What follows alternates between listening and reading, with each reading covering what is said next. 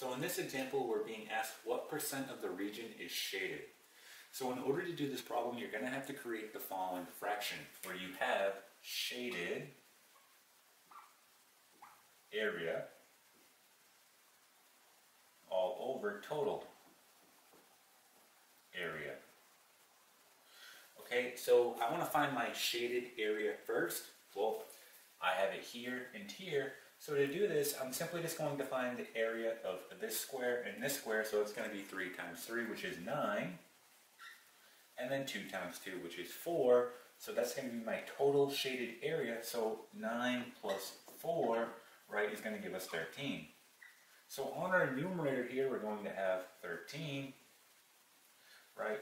And then if we look at the bigger picture, if we look at our rectangle here, right, that's going to be our total area. So we're going to do 6 times 10, which is 60. That's going to be on our denominator, okay?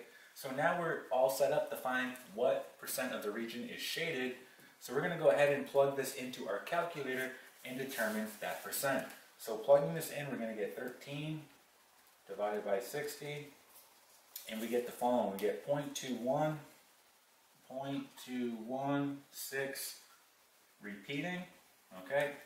And then just multiply by 100, we're going to get the following here. We get 21.6, and let's say 7%,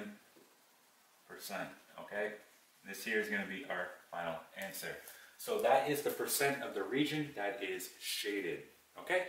And that is it.